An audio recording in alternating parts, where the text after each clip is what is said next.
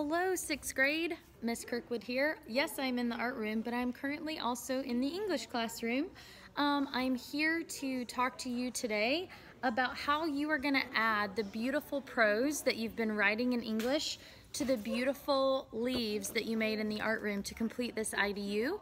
We want you to make that connection with all of these disciplines. So I'm gonna talk to you about how we're gonna do that and then how we're gonna incorporate all of this into our tree. Now remember, this is a collective art project, so we don't own any leaf. So whichever leaf your English teacher hands to you, is the leaf that you're going to put your prose on top of.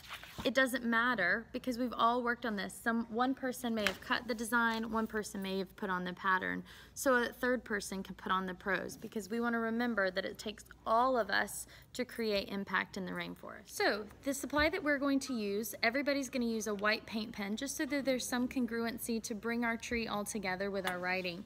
We are going to use a white paint pen, and I'm going to show you how to use this in, the more, um, in a moment, but I want you, if it's new, go ahead and take the plastic off, keep the cap on, and you're going to give it a shake.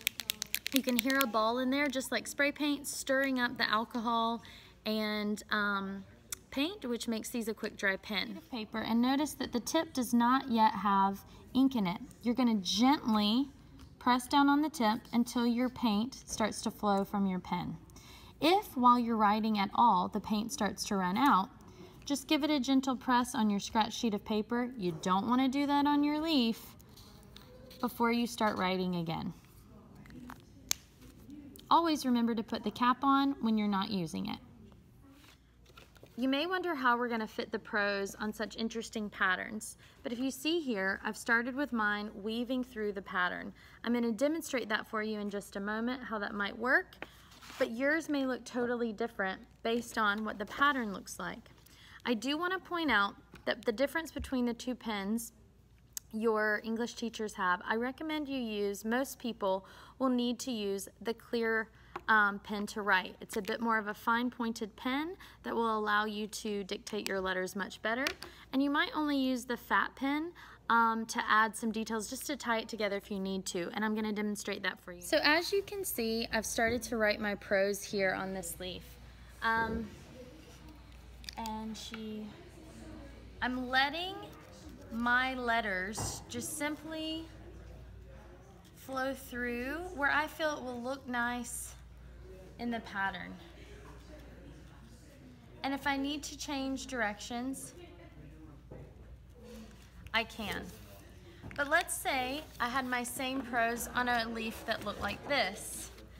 That might look totally different. I might start here, the shuffling,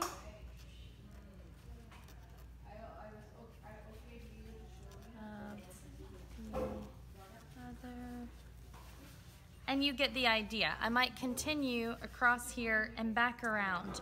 Or I might choose to only do things in sections and bounce around. Or in a leaf like this, maybe I try to put a word in each tiny section.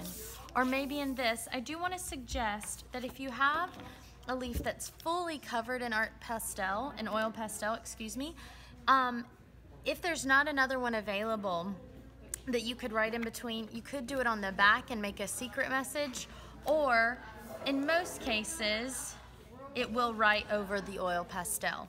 So you have many options, but basically you want to make sure that as you're adding your text, that it goes with the flow or around the patterns that are already on your leaf.